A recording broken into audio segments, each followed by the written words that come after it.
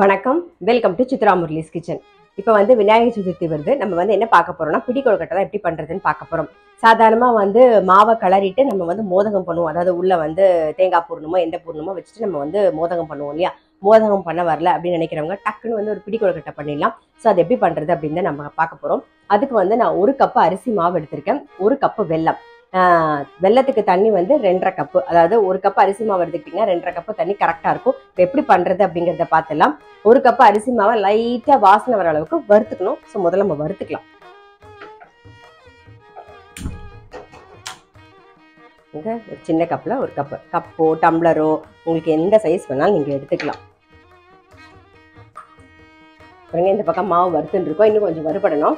நான் வந்து ஒரு கப்பு அரிசி மாவு எடுத்துட்டேன்னா ஒரு கப்பு வெல்லம். கரெக்டாக பாருங்க ஒரு கப்பு வெல்லம் எடுத்திருக்கேன். ஒரு கப்பு வெள்ளத்தை கரைச்சிக்கலாம் நம்ம தண்ணி விட்டு.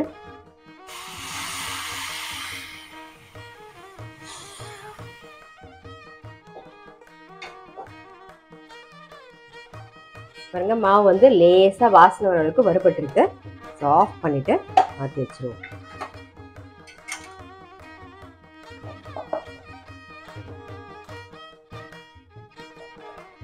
பாருங்க வெள்ளம் வந்து கரைஞ்சிடுது. வடிகட்டிடலாம். நான் வந்து ஒரு கப்பு அரிசி மாவுக்கு ரெண்டரை கப்பு தண்ணி சொல்லியிருந்தேன். பாருங்க ஃபஸ்ட்டு வெள்ளை கரைசல் எவ்வளோ இருக்குன்னு பார்த்துக்கோங்க.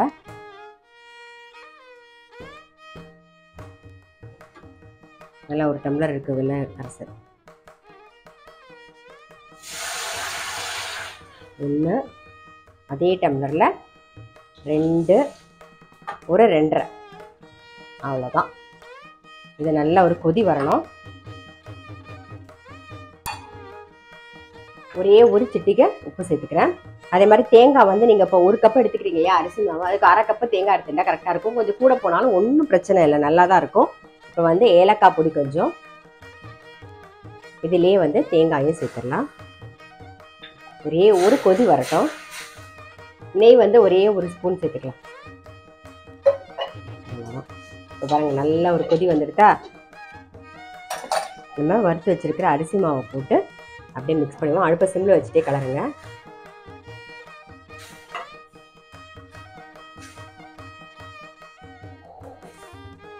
பாருங்க நல்லா மிக்ஸ் பண்ணியாச்சு.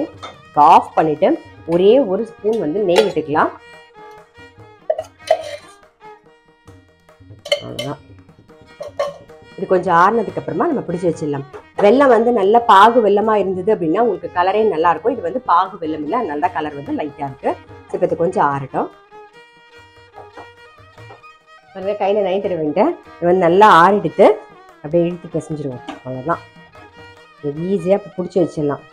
பிள்ளையாருக்கு வந்து நீங்கள் எப்படி குழக்கட்டை பண்ணி கொடுத்தாலும் அவருக்கு ரொம்ப பிடிக்கும். இப்படி தான் வேணும்லாம் கிடையாது. எப்படி பிடிச்சி வச்சாலும் அவருக்கு ரொம்ப பிடிக்கும்.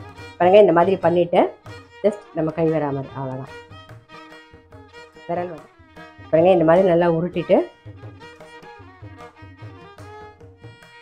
ஜஸ்ட் பண்ணாலே போதும். இந்த மாதிரி எல்லாத்தையும் பிடிச்சி வச்சுருவோம். இப்போ எல்லாமே ரெடி பண்ணியாச்சு. பிடி குழக்கட்டை பாருங்க ஆவியில் வேக வச்சு எடுத்துடலாம். இங்கே தண்ணி வந்து நல்லா கொதிச்சுன்னு இருக்கு வச்சிடுறேன். வேகிற வரைக்கும் வெயிட் பண்ணலாம் குழக்கட்டை வந்துட்டான்னு பார்த்துருவோம் பாருங்கள் நல்லா வெந்திருக்கு. ஸோ ஆஃப் பண்ணிடுறேன். ஆறுனதுக்கு அப்புறம் எடுத்துடுறேன். இப்போ ஆறு எடுத்து நம்ம ஒன்று ஒன்றா எடுத்துடலாம்.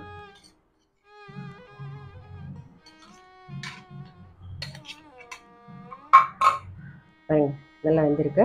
நல்லா பாகு வெள்ளமாக இருந்ததுன்னா கலர் வந்து ரொம்ப நல்லா வரும். நம்மக்கிட்ட பாகு வெள்ளம் இன்னைக்கு கிடைக்காதனால நான் வந்து நார்மலாக இந்த வெள்ளம் தான் கிடச்சிது யூஸ் பண்ணிட்டேன்